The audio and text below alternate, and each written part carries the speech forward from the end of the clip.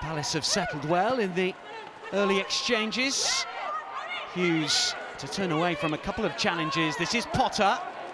And now it's with Sharpe. And it's still Molly-Mae Sharpe.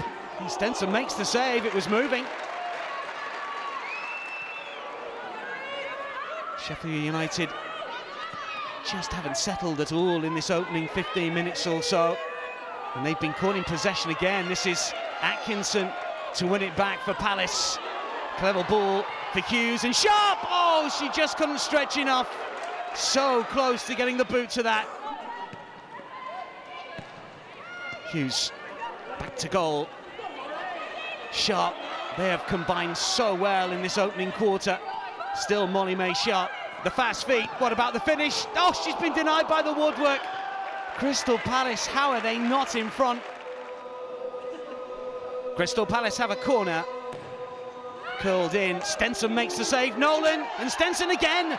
A double stop from Fran Stenson to keep the score at nil-nil.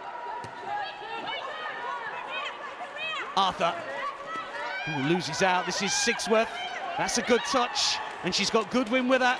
Here is Goodwin, surrounded by Palace players, just unable to wrap the right boot around that. It was a chance for Sheffield United. Palace with the corner. In swinger, the order of the day, it would appear. Nolan's header just needed to take something off that. Was a chance though. Everett. Percival. This is Sharpe to control. Philby forwards. Blanchard with a touch. Through here towards Hughes. Stenson is there again. This is Sharpe. It's another save. And still Molly-Mae Sharpe. She'll get another go. Brilliantly done. A lesson in perseverance.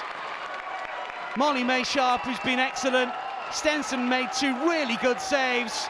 But Sharpe, third time of asking here, swiveled and found the back of the net. Thoroughly deserved. Dennis under pressure, shows strength here, but the touch is just a little heavy.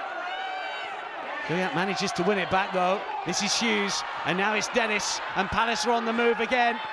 And it's back towards Hughes, looks to measure the shot, but didn't really get hold of it.